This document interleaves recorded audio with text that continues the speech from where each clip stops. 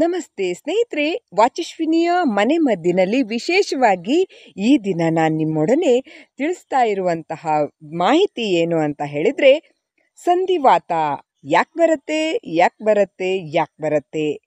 ತುಂಬ ಕಿರಿಕಿರಿ ಕೊಡುತ್ತೆ, ಅದರಲ್ಲೂ ಸಹಜವಾಗಿ ವಯೋವೃದ್ಧರಿಗೆ. ಯಾಕೆ ಅಂದರೆ, ಅವರಲ್ಲಿ ರಕ್ತದ ಬಲ ಕಡಿಮೆ ಇರುತ್ತೆ, ನರಗಳು ವೀಕ್ ಆಗ್ತಾ ಇರುತ್ತೆ, ಮೂಳೆಗಳು ಸವಿಯುತ್ತಾ ಇರುತ್ತೆ. ಸಹಜವಾಗಿ ಈ ಸಂಧಿವಾತ ಅದರಲ್ಲೂ ಮಳೆಗಾಲ ಚಳಿಗಾಲದಲ್ಲಿ ಹೆಚ್ಚು.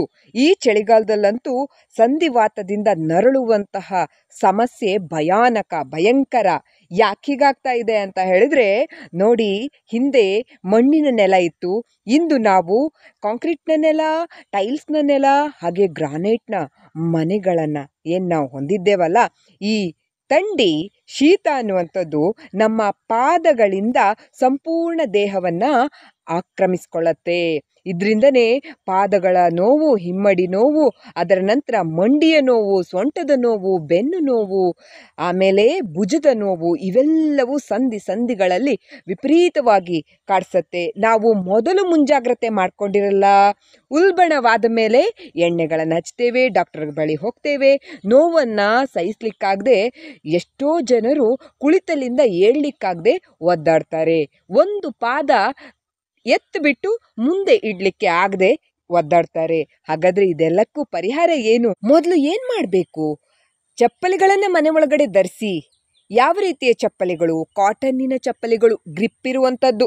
ನೋಡಿ, ನಯಸ್ಸಾಗಿರುವಂತಹ ಚಪ್ಪಲಿಗಳನ್ನು ಧರಿಸಿ, ಶೂಗಳನ್ನು ಧರಿಸಿ, ಬಿದ್ದು ಈ ನೋವಿಗಿಂತ ಹೆಚ್ಚು ನೋವನ್ನು ಖಂಡಿತವಾಗಿಯೂ ಮಾಡ್ಕೊಳ್ಬೇಡಿ. ಮೊದಲು ಪ್ರಾರಂಭ ಚಳಿಗಾಲ, ಮಳೆಗಾಲ ಏನಾಗತ್ತೆ? ಶೀತ ನೆಲವನ್ನು ಆಕ್ರಮಿಸ್ಕೊಳ್ತಾ ಇದೆ ಅಂದಾಗ್ಲೇ ಮನೆಗೆ ನೀವು ಉತ್ತಮ ದರ್ಜೆಯ ಶೂಗಳನ್ನು, ಸ್ಲಿಪ್ಪರ್ಗಳನ್ನು, ಚಪ್ಪಲಿಗಳನ್ನು ಒಳಭಾಗದಲ್ಲಿ ಧರಿಸ್ಲಿಕ್ಕೆ ಹಾಕ್ಕೊಳ್ಬೇಕು. ಅಂದರೆ ವಯೋವೃದ್ಧರು, ಶಕ್ತಿ ಇರುವವರಿಗೆ ಏನು ತೊಂದರೆ ಇಲ್ಲ.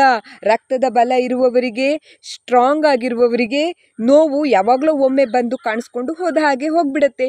ಆದರೆ ವಯೋವೃದ್ಧರಿಗೆ ಶುಗರು ಏನು ಇದೆ ಬಿ ಪಿ ಇದೆ ಕೊಲೆಸ್ಟ್ರಾಲ್ ಇಂತಹ ಸಮಸ್ಯೆ ಇರುವವರಿಗೆ ನೋವು ಒಮ್ಮೆ ಬಂತು ಅಂತ ಹೇಳಿದ್ರೆ ನೋವು ಹೆಕ್ಕಡಿಸುತ್ತೆ ಭಯಂಕರ ಒಂದು ಕಾಲು ಎತ್ತಿಡ್ಲಿಕ್ಕಾಗದೇ ಇರುವಷ್ಟು ನರಳಿಸಿ ಬಿಡತ್ತೆ ಜೊತೆಯಲ್ಲಿ ನಿಮ್ಮ ಮನೆಯಲ್ಲಿ ನೀಲಗಿರಿಯ ತೈಲವನ್ನು ಇಟ್ಕೊಳ್ಳಿ. ನೀಲಗಿರಿ ತೈಲ ವಾತವನ್ನು ಸಂಪೂರ್ಣ ನಾಶ ಮಾಡಿ, ಶೀತವನ್ನು ದೇಹದಿಂದ ನಿವಾರಣೆ ಮಾಡಲಿಕ್ಕೆ ಉತ್ತಮವಾಗಿರುವಂತಹ ತೈಲ.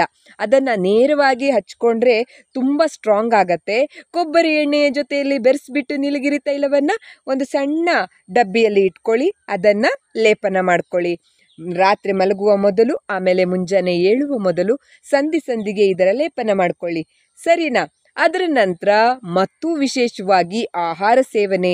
ಈ ಚಳಿಗಾಲ, ಸಂಧಿ ನೋವು ಇವೆಲ್ಲ ಕಾಣಿಸ್ಕೊಳ್ತಾ ಇದೆ ಅಂದಾಗ ಉತ್ತಮವಾಗಿರುವ ಕೊಬ್ಬರಿ ಒಣ ಕೊಬ್ಬರಿಯ ತುಂಡುಗಳನ್ನು ಸೇವಿಸಬೇಕು.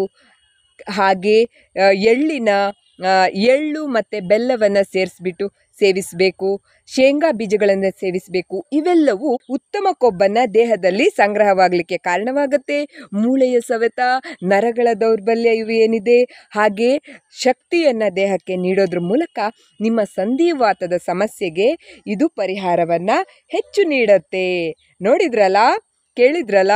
ಹಾಗಾದರೆ ನೀವು ಮಾಡಿಕೊಳ್ಬೇಕಾಗಿರುವಂತಹ ಸರಳ ಪರಿಹಾರದಿಂದ ಬಹಳ ದಿನಗಳ ಕಾಲ ಅದನ್ನೇ ಅದನ್ನೇ ಶೀತವನ್ನು ದೇಹಕ್ಕೆ ಸೇರಿಸಿ ಸೇರಿಸಿ ಸಂಧಿವಾತವಾಗಿ ನೋವು ಕಾಡಿಸುವ ಹಂತಕ್ಕೆ ತಲುಪದೆ ಮೊದಲೇ ಮುಂಜಾಗ್ರತೆ ವಹಿಸಿಕೊಂಡು ನಿಮ್ಮ ಆರೋಗ್ಯವನ್ನು ಕಾಪಾಡ್ಕೊಳ್ಳಿ. ಸರಿ, ಇದರ ಮುಂದಿನ ವಿಡಿಯೋ ನಿಮಗೆ ಸಂಧಿವಾತಕ್ಕೆ ರಾಮಬಾಣವಾಗಿರುವ ತೈಲದ ಮಾಹಿತಿ ನೀಡ್ತೇನೆ. ಹೀಗೆ ಹಚ್ಕೊಂಡ್ರೆ ಹಾಗೆ ನೋವು ಮಾಯವಾಗಿಬಿಡಬೇಕು ಅಂತಹ ಒಂದು ಮನೆಮದ್ದಿನ ತೈಲವನ್ನು ನಿಮಗೆ ವಿಶೇಷವಾಗಿ ತಿಳಿಸ್ತಾ ಇದ್ದೇನೆ. ಅಲ್ಲಿಯ ತನಕ ಟಾಟಾ, ಬಾಯ್ ಬಾಯ್ ಸ್ನೇಹಿತರೆ, ಶುಭವಾಗಲಿ. ಧನ್ಯವಾದಗಳು.